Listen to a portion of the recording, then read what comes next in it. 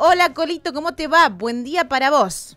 Hola Dai, ¿qué tal? ¿Cómo están? Buen día para todos. Muy eh. bien. Qué lindo día, eh. qué linda mañana. Hermoso, Colito, hermoso. Decíamos 22 grados. Este, ¿Y vos cerquita de la radio o por dónde andás? A ver, contanos. Sí, estoy muy cerca de la radio. Estamos acá en, eh, en Los Maderos, en el complejo del casino, eh, en donde se está llevando en este momento una jornada muy importante, que es la 230 reunión del Consejo Directivo y la Asamblea General de la Federación Empresarial Hotelera Gastronómica de la República Argentina. Es eh, realmente inesperado que sea acá en nuestra ciudad. Hubo una convocatoria. Acá se presentó un stand, perdón, acá no, en Buenos Aires se presentó un stand. Y es ahí cuando conocieron Santa Fe y dijeron, bueno, vamos a hacerlo acá, a esta jornada. ¿eh? Eh, y la están haciendo muchos empresarios, hoteleros y vinculados también a la gastronomía. La están haciendo acá, repetimos, en nuestra ciudad. Y vamos a escuchar a Alejandro Grandinetti, Ujú. quien es el secretario de Turismo de la provincia de Santa Fe y que cuenta justamente de la importancia del turismo en la provincia. Lo escuchamos, a ver. La FEGRA, la figura de su presidente, eh, que hayan elegido nuestra querida provincia de Santa Fe para venir a realizar el Congreso Nacional hacía muchos años, ¿no? que no venían acá, eh, en circunstancias en las cuales nos permiten recuperar parte de, la actividad hoy a nivel nacional.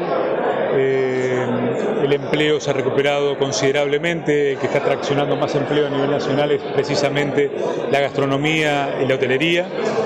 Nos acabamos de enterar por datos oficiales que tenemos la desocupación más baja en el Rosario, Gran Rosario, en los últimos 40 años.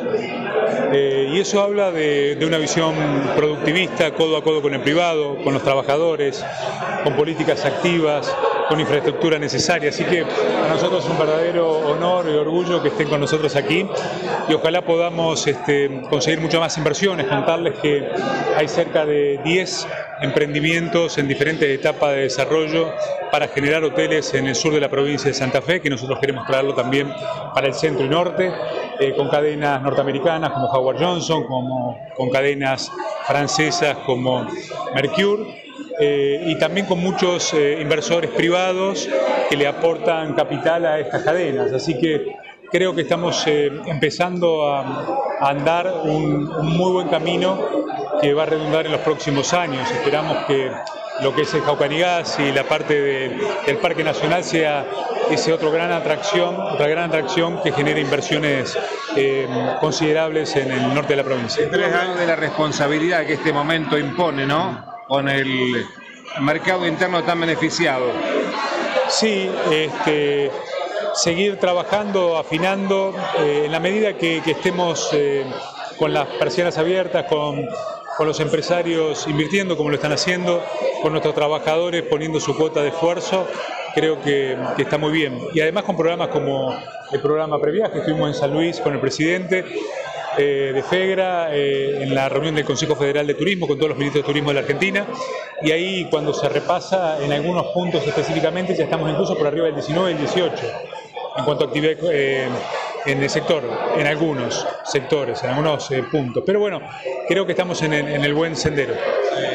Este año, el tercer año de gestión, este año se trabaja sin pandemia. Eh, ¿Es el momento justamente para repuntar el turismo en la provincia? Sí, creemos que es el, el momento y están apareciendo algunos, algunos indicios de que efectivamente estamos en el camino adecuado.